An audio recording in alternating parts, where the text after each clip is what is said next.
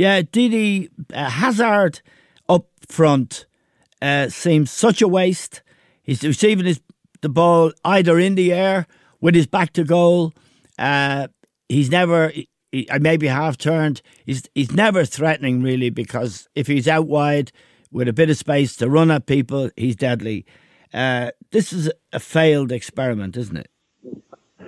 Um, yeah, uh, if you go on Saturday's uh, game, you, you have to say so. I think it's a position, you know, I think the guy is that good. I think he can probably cover most positions um, in the attacking half of the pitch, but you need to play a certain way. You need to give him the ball into feet, and yeah. uh, there was certainly not the case on Saturday. And this is, if you if you don't give him the ball to feet, then uh, you know you take a big part of your um, of your uh, lethal side of yes. the team you take away because he is the most destructive player. He's the most dangerous player.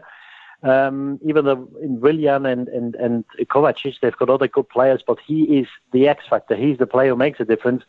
Um, and it's, it's really worrying because I worked on the Trapattoni in Munich, and I know that for an Italian manager, if a player said anything about the uh, his his teammates or whether he should play, for him there was an absolute no-go area because he said you don't talk about your teammates in public because if you say you should be playing, that means another guy shouldn't be playing. Yes. And for an Italian to come out and have the rant he did, and when he said I want to do this in Italian because I want to make yes. sure I don't make any mistakes here, um, it, it, it seemed to me like it's been bubbling for a few weeks because I don't think on one performance alone he would lose the head um, as he did. And when you when you um, accuse your team of lacking motivation, um, you know usually the end is nice. So it's a it's a very interesting story of what's going to happen at Chelsea, whether it's something to do with Abramovich or whether the uh, the people in charge in the board, um, whether he hasn't been backed as much as he thought he was.